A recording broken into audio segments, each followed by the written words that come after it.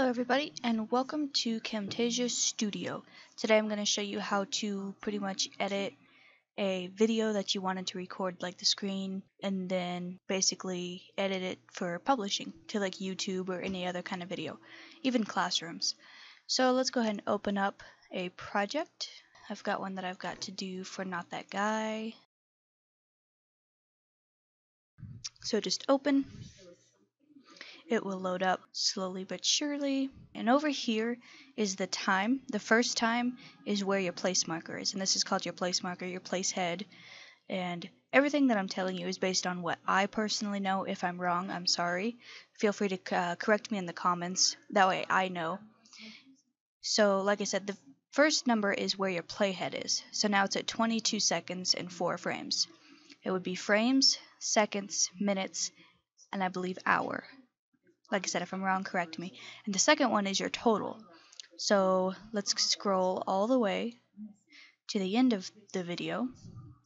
Here's the end. And it's about 58 minutes and 58 seconds. And like I said, the last two digits are frames. If you hit left and right arrows on your keyboard, it'll go over however many, you know, per frame. So if you're being really detailed and you're like, okay, I want to go over just one frame instead of sitting here trying to click or drag a frame, because sometimes that's hard, you can just click the arrow keys to get exactly what you want. And then if you're not working with as great detail or you need more detail to try to get to where you're going, you can always click the, these magnifying glasses. You can zoom in and you can zoom out just by clicking these. Or you can drag this, you know, zooming out you can see the entire video. But let's say I need to get just a teeny tiny thing, I need to look at it or I need to edit it, well then we'll zoom in quite a bit so that we can see exactly what we need to see. We'll zoom back out so I'm not sitting here scrubbing all the way over. Click. Now in order to just hit play or to stop, you can either hit this button up here, play, or pause. You can also step backward, step forward. I usually don't play with these very often. Next clip, okay. So that'll be wherever you cut it or if you add another video behind it. You can also hit spacebar. As long as this down here is selected, you can hit spacebar. And welcome to my first ever playthrough. And spacebar again to pause it. So what we're going to do is listen through and if there's any pauses that are unnecessary or any other content that's unnecessary, we're going to cut it out and snip these together. Hello everyone, I am not that guy, and welcome to my first ever playthrough of Scribble Scribblenauts Unlimited. I wonder if there's a controller. Okay, so here you can see that there's a little bit of pause, but even before that, he's pretty quiet, and I personally don't think that that part is necessary. Let's listen again. I wonder if there's a controller it's not really necessary for our listeners. So let's go ahead and zoom in. And this is the part that we don't want. I like how you can actually see the audio because then you know where to click and what to cut out. So let's select both of these. And to select both, you hold down Shift. And up here is the split. So we're going to select this button here. And as you can see, it split these two videos in half. So you, they're both editable. Now what I just did there is I used a marquee to selecting both two. Now in order to do that, you have to select somewhere that there's no content, either up here or here, because if you select this, you'll just be moving it. Edit undo is also Control Z. That's what I use for edit undo. So now that these two are split, let's come over here right before what we want to cut out. Let's listen again. I wonder if there's a controller. Let's go back here and listen to see what's before that. Really awesome. Yeah, I like that part. So we will cut somewhere in between these two. Again, select them both, split, and now that we have this part that we don't want, I wonder if there's a controller. We select them both and hit delete. And now we select these two and move them here. Now that's called splicing, is when you move two things together or delete something in between them. Let's see what we have. Really awesome. Mm, maybe. We notice that's a little choppy. Awesome. Mm. Between there and there, and that includes the music that's actually in the video and also his voice. They're both, they're kind of choppy. In order to fix that and make it seem smooth, you click on transitions, which is up here. Now if you don't see transitions down here, click on more and it should be here. So now that we're in transitions, you can choose a transition to go from this video to this one. And I usually use fade because it's nice and smooth. So just click and drag. And what's nice is it highlights where you can put this. You can't put it on here because this is actually just an audio file. And let me show you. Click on this little eyeball here to turn off the track. So now you can't see it or hear it. And then you can isolate whichever track you want, or if you want to listen to multiple tracks, but not this one, that's what the eyeball is for you can shut it off and turn it back on. So let's see, let's hear what this sounds like. It's awful quiet, but you can still hear how it all of a sudden jumps. So there is a way to fix that, and I can show you. We will click on this one because this is the one that gets loud all of a sudden, and you click on audio because that's what this is. Now when you click on audio, it brings up this green line, and this is the volume. You can turn it down, turn it up, whatever you want to do with it, but you can also, let's zoom in just a little more, go to the beginning of this, and you can fade in. Now let's listen.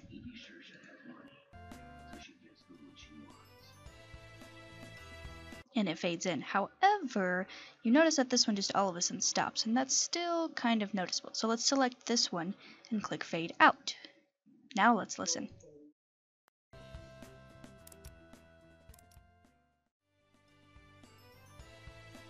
It's a much better transition than before. You don't it won't even be noticeable. So now I can show you what else you can do. This key point, these little dots are considered key points you can click and drag them.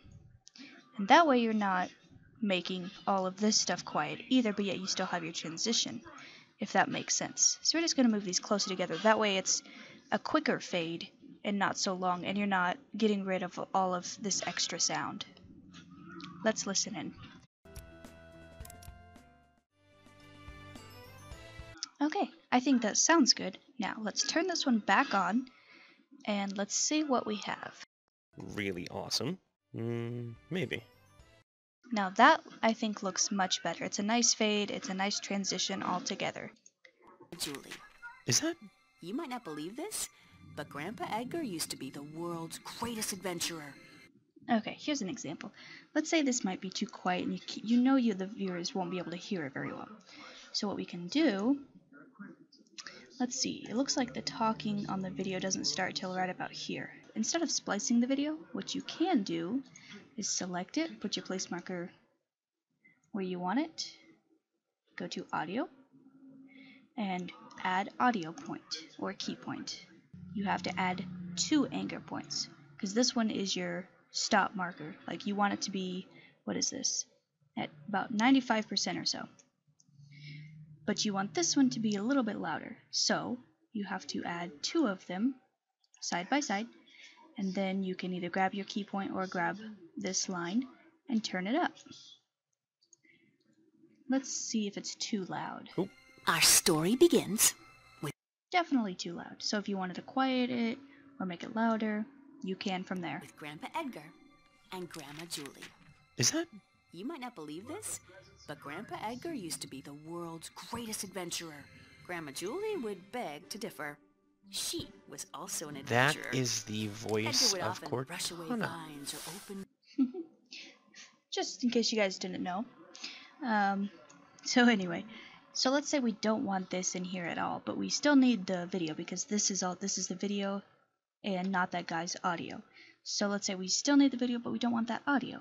So what do you do? You go somewhere before it, add audio point, go a little bit after, and like I said, you can click and drag, or you can use the arrow keys left and right. Add another audio point, and let's see, there's probably audio that we do need over here. So, before we turn this all the way down, let's just move it after his voice.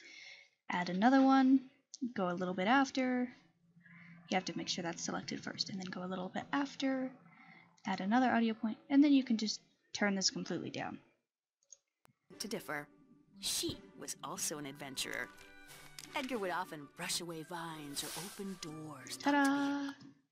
And now there's no audio there. And yet there is down here. So you can play with that and edit it however you want, customize it, and things like that. So now I'm going to show you how to insert an intro.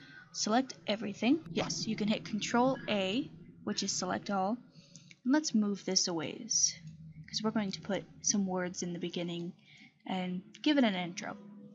So I have already created things. Let's see, go to Clipbin. Clipbin is where all of your uh, media will be, such as pictures, music, videos, anything you import pretty much. Library is basically Camtasia's own clips and other things like that. And I've used some of these. Some of these are fairly nice. I haven't had a chance to go through them all, but I should because I'm sure some of them are so good that I'd probably just use Camtasia stuff callouts. I use callouts to add text. You can click add callout or I just selected the shape and then you can add text on top of it. I'm going to put not that guy. Okay. Select all. You can change the font size. You can change the font type and also the color. And as you can see, I have not that guy here, but it looks like it doesn't all show. And that's because you just need to make this bigger so that it all fits. You can also change your shape or no border, no fill, and no shadow. Because then it's just text. Oops, you gotta have it all selected before you can do anything with it. There we go. Ta-da! And from there, it just kind of pops in and fades out. It automatically has a fade in and fade out. There's your fade in, here's your fade out, and if you don't want anything, just go to zero. If you want a long fade in, you can go up to five seconds, it looks like. Here's what it shows. Oh, maybe. Now, like I said, you have to have the timeline down here selected, so just click anywhere down here in mm. order for it to show up when you hit the spacebar. Da da da da. Okay, that's really long. So let's turn that back down to something like that. Or you can actually select this and type it in manually if you want to be specific. So that's how you insert text, like if you're doing subtitles or anything like that. You just move it down to the bottom, probably make it smaller or whatever, and add your subtitles um, in and out as you go. You can make it longer by clicking and dragging as well. Say I want it on there for quite a while. Da, da, da, and it'll stay on there for however long. Okay, now I'm going to show you how to insert, or rather import media and use your own text, your own logos, your own images. Here's his avatar. You can also select more than one thing. Sometimes I forget that. Okay, so now we've got his logo and his little avatar. Let's go ahead and bring this in. And I just created a new track by bringing it in and setting it on top of my already made tracks. Make it a little longer. I'm going to zoom in. You can do lots of things with this guy. You can make him peek in, you can slide him in, you can spin him in, you can do a lot of different things. But let's just go ahead and have him slide in. So we're going to start, make sure it's the right size, and I think he's about right. Start down here. I just zoomed out by using my scroller on my mouse. You can also zoom in and out here. 100, 25, shrink to fit. And if you're trying to zoom into something but you want it over here, you can hold down spacebar and click and drag to where you need to go. I use that a lot too when I'm working with specific details. Okay, so we've got not that guy down here, and we want him to slowly rise up, like he's just popping in. So we start here, back down here in the timeline, and let's go. Okay, here is where I put my key point, and right here is where I think roughly we want him already in the shot. So move your header wherever you want him in the shot, and let's go to Visual Properties. Visual Properties works for text, it works for pings, JPEGs, works for quite a bit of visual media. We have to select the ping, add animation, and as you can see I put in an arrow. So it's going to move from here to here. By the time the anchor point or the header gets here, we want him to be up here. I know it sounds all confusing, but it makes sense once I hit play. Boop, and there he is. Now if that was too fast, you can always make it longer by clicking and dragging that or this. He comes in a lot slower, but if you wanted to pop in fast, just shorten that up. You can click and drag the big dot or the little white dot. Boop, there he is. So now that we've got him popping in, let's go ahead and add his logo probably up here somewhere. So go back to the clip bin, click and drag. We'll put it right about there. Okay, so that's a little bit of too much wait time. So let's move this back.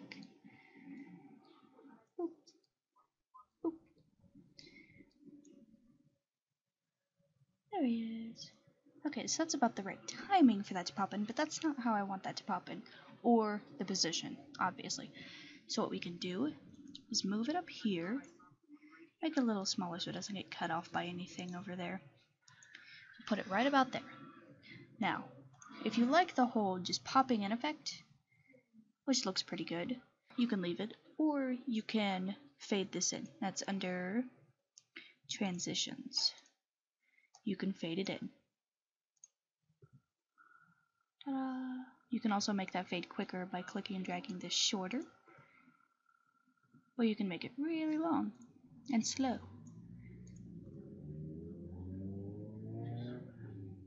Dramatic. Okay. But if you don't like that, you can click on it because it's blue when it's not selected. When it's selected, it's yellow, and you can hit delete. You can do checkerboard. Um, you guys can check all these out yourselves. That looks alright. We'll do that. Not that guy. Okay, so now I want to introduce the name of the game. So I don't have to make many more tracks. I'm going to select these two. I'm actually going to bring them down to track 1. That way I've got these two tracks to play with and I'm not just stacking track on top of track on top of track. So let's go ahead and grab some text. We'll add a callout. And it's going to say in. Because it's going to say not that guy in and then the name of the game. Let's pick a different font. Eh, that'll work. It's just a short word, it's not too important, so the, the font doesn't really matter what it is. The text, we can do red to match his shirt, or we can do pretty much any color. And if you're trying to get a very specific color, like let's say I don't think that red's the color of his shirt, but I really want the color of his shirt, you go to select colors. It gives you the eyedropper. Okay, so I'm going to make this text box smaller.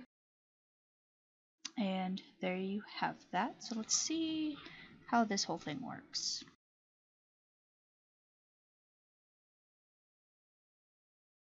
Okay, so we want to bring this out longer so that it lasts as long as his avatar is there. Because we don't want it to be too short like this. And then that go out while everything else is still there. So let's make this longer. So now we need the Scribblenauts Unlimited logo, because that's the game he's playing, the Scribblenauts Unlimited. And I have that on my computer, so all we have to do is go to Import Media, find where it's at, and Scribblenauts logo. And it's already a ping, so it doesn't have a background. It's pretty much ready to go for us. Oop, make it just as long as the others. Let's see what that looks like. Okay, obviously not in the right spot, size, or any of that. So let's make it bigger. Okay, so here's an example of, you know, using these track eyeballs. I want to select the in in the background, not this, but this is on top. So what you can do is either temporary, move this out of the way, you can also move just move your playhead, or you can deselect the track that you don't want to mess with. Ta-da! And now you can't edit it, or what you can also do is lock it. So I can't move it or delete it or do anything with it. So now I can move this. Maybe not. Ah, there we go. Let's see. Let's move this up. And we can move this up as well.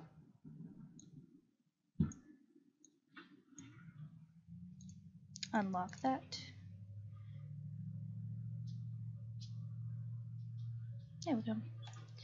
Let's zigzag. That looks okay. Especially since it's Scribblenauts, it kind of looked like he was scribbling. ah, double click it to get a preview of what it's supposed to do. See, I'm learning as we go too. Okay, so let's go back to this. And this one I'm also going to fade in. Let's see, where's the fade? Uh, that in was a little too long, so I'm going to shorten it up. Bring this in. See what that looks like. It's fairly tedious if you're going to edit your own videos. It is a very tedious job, and it could take up it could take hours depending on how long your video is. And this video is about an hour long, so it's going to take me quite a while to edit this video. But it is definitely worth it in the end. It gives it that nice professional look to it, I think. So that's basically how to make an intro. To end the intro, you can either just let it black out like that, or you can give it a nice fade.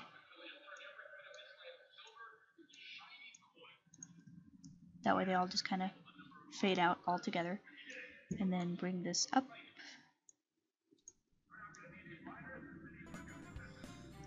Hello. Okay, let's go ahead and audio, fade this in. Not quite that long. Okay, Hello, everyone. and there you have it. That's the intro into the video, the actual video content. And in order to do the outro, it's, it's pretty much the same thing. You create your avatar, create your text, and all that. What I usually do to make it easier, I select them all, I copy, Control C or edit copy, come over here, paste. Ha ha ha. Ta-da! And then you have it in the end as well. And usually what I personally do is instead of it saying all this again, um, I'll go ahead and delete that and I will change this to say something else, such as thanks for watching or like and subscribe.